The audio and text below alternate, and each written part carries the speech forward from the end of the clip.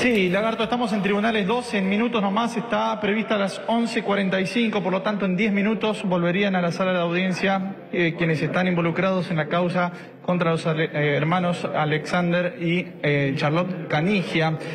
Hace un instante tuvieron la última palabra, solo habló Alexander, agradeció a la justicia por escucharlo eh, luego de haber tratado a la justicia cordobesa de Cholula. Luego apuntó directamente contra Pablo eh, Layuz, acusándolo de que, bueno, eh, logró fama este, mediante este juicio que se desarrolló en estos días y que, bueno, en definitiva, lo consideró que había ganado en esta disputa que, bueno, llegó a este tribunal.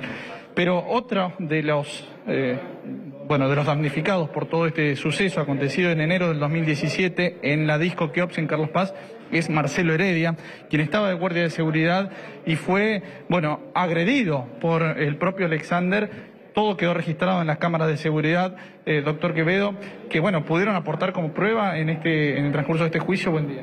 Buen día, ¿cómo están? Efectivamente fue así. El señor Heredia estaba cumpliendo tareas, trabajando para llevar el alimento a su familia como cualquier trabajador y fue agredido y amenazado además por el señor Canigio. ¿Todo eso quedó en evidencia en el transcurso de este juicio? Totalmente, quedó plasmado no solamente por las pruebas de cámaras, también prueba indiciaria, por cómo se sucedieron los hechos, las pruebas testimoniales. Fue realmente, hay, creo a mi humilde criterio, una certeza absoluta de que los hechos se han llevado a cabo como lo ha manifestado y lo hemos manifestado esta querella y el señor Heredia. ¿En algún momento Alex o eh, Charlotte Canigia le pidieron disculpas a, su cliente? Jamás, jamás, ni siquiera hubo un, un intento, aunque sea de falsedad, de decir por compromiso o para incluso quedar bien ante el tribunal, ni siquiera eso hubo. ¿Hubo algún tipo de acusación por el contrario? Según Alexander Canigia manifestó en, al momento de pedir la palabra que él había sido también agredido obviamente su derecho de defensa, aconsejado seguramente por su letrado, pero ha sido todo lo que ha manifestado. Marcelo, bueno, eh, por supuesto fuiste uno de los protagonistas, lamentablemente, aquella noche. Eh, ¿Qué recordás de aquel episodio?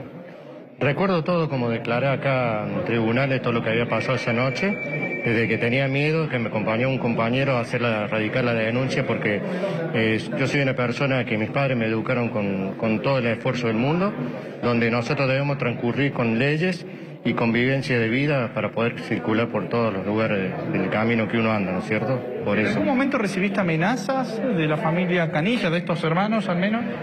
La noche del boliche sí, después no he tenido contacto para ello, para nada.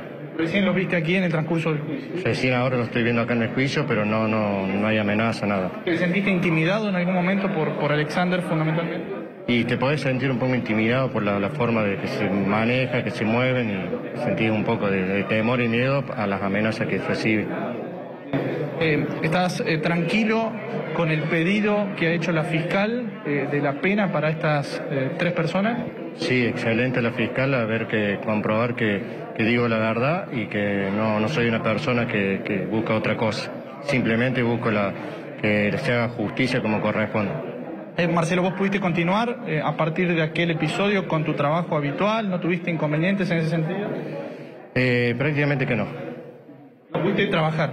No trabajé por siete días, después del episodio de siete días estuve sin trabajar y después volví a trabajar de nuevo. Muchas gracias. Gracias. Bueno, ahí está la palabra de otro de los eh, protagonistas, eh, damnificado, en este caso, eh, por aquel juicio. A ver, por aquel episodio, digo, aquí están todos esperando el reingreso a esta sala de audiencia. Aquí en un instante nomás, a ver, vemos si podemos mostrar cómo se empieza a, bueno, a establecer este último instante. Allí lo vemos a Alex y a eh, Charlotte, Alex haciendo señas incluso en este momento a la Cámara, este, cuando están esperando por el veredicto, eh, Lagarto, que saldrá en un instante nomás. 11.45, 11.50 es el horario previsto para conocer esta sentencia. Bueno, qué maleducado. Qué muchacho. Sí, Claro. pero bueno, es así, es, Digamos, una- pero una cosa es ser snob, ser este rebelde, pique, y otra cosa es ser maleducado. Un muchacho ordinario, ¿no? Ya nos tienen acostumbrados a eso. A mí me cae simpático algunas pavadas que hace, qué sé yo. Igual dicen que es un maleducado. personaje, ¿no? Sí, El puede ser, pero no lo favorece, eso no lo favorece, qué Ordinario, sé yo. ¿qué? Sí. Lo favorece la comunidad que lo sigue, que son muchos. Sí, bueno, pero me parece que nos aporta bastante poco, pero bueno. Sí, Lagarto, está retrasado todavía el veredicto. Recién avisaron aquí, eh, en, bueno, en la parte exterior de la sala de audiencias que por lo menos 10 minutos más van a demorar. Pero en, en la salida anterior hacía menciona que Alex Canige en el uso de la última palabra, bueno, eh, fue duro con, con el compañero y colega Pablo Layuz. ¿Qué te dijo? Porque te señaló incluso. ¿Qué pasó? Eh, que Fabián Esperón, ¿no? que es el representante de Alex, fue, también hizo uso de la palabra. Alex fue muy cortito, dijo simplemente agradeció el trato que había recibido, creo que eh, obviamente después de lo que había dicho la justicia de Córdoba pidió disculpas a su manera.